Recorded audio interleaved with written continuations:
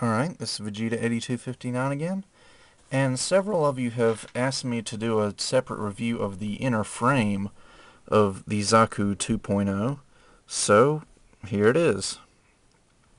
I guess I'll just uh, do articulation just like I did in the regular review, only this time the Zaku will be naked. Alright, uh, for the head, he's got a double ball jointed neck, it can go up and down. You can go side to side. And since we don't have that clear part and all the helmet stuff there, this will be a really good opportunity to show you the cool function on the mono eye. When you turn his head, the mono eye turns with it. So I thought that was just really nifty. See, I've taken the head off here. When you turn the neck, the, mo the mono eye turns. So that's pretty cool. A whole lot better than on the 1.0 where you had to turn that little tab on the back of his head to make the mono move. Anyway, uh, not much uh, to do on the backpack. Uh, the thrusters go up and down. And this is, uh, for anybody who doesn't know, this is Shin Matsunaga's Zaku 2.0. So if you get a regular Zaku, it won't have this giant backpack. It'll have a normal looking Zaku backpack. And he's got a little tab on his back that you can switch and the cockpit switches sides. So it can go left, right, left, right, whichever side you want it to be on.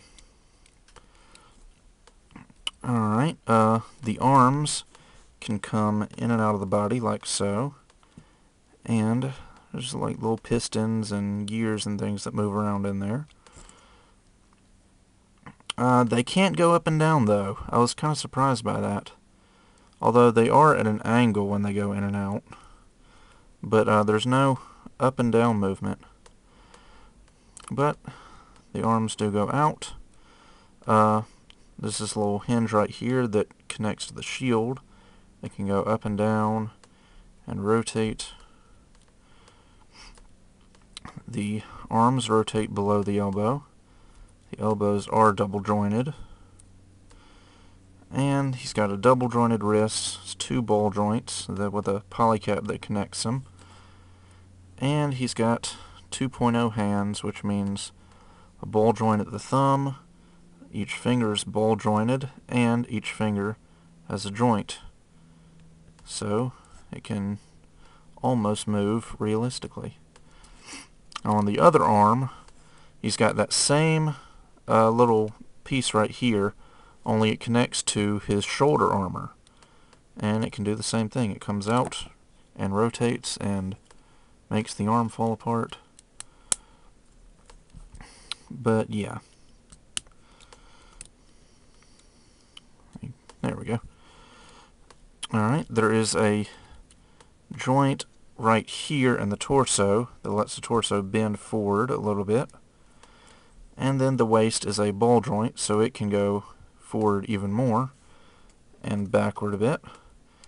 And it cannot do it with all his armor attached, but with just the bare frame, it can go 360. The side skirts are on ball joints, the back skirt is double jointed. It's got ball joints attached to the back skirt, and then it's like a peg that's attached uh, to the waist there, so it can come in and out. And it's got this little clip right here that goes up and down for the bazooka. The legs can go out quite a ways, full 90 degrees. They can go up a whole 180 I can go back about as far as the back skirts will let them, and speaking of which, the back skirts just fell off.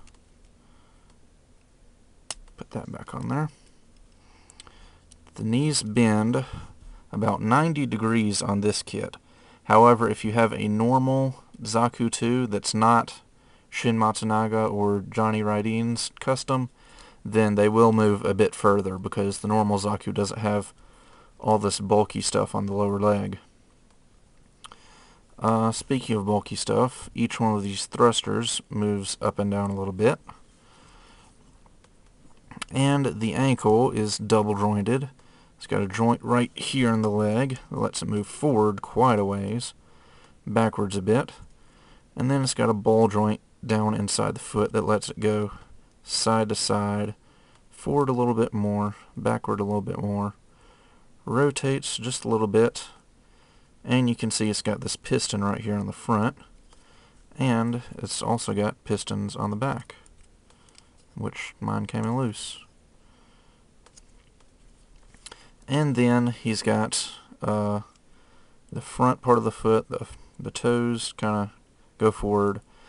They obviously can't go this far up with the foot armor attached, but they do when it's just the bare frame. And I guess that's just about it for the Zaku 2.0 inner frame. Uh, yeah. I, I think I want to get another Zaku 2.0. I still want to get that Kawaguchi version. Uh, I mean, I don't want to pay a lot of money for it because the last time I saw it on eBay it was like $60 and that's a bit much for just a Zaku 2.0 which usually goes for like 40 or 45 but uh if worst comes to worst, I can just buy a normal one and paint it like the Kawaguchi version. I just won't have the decals. So anyway, that was the Zaku 2.0's inner frame, and I will see you guys next time.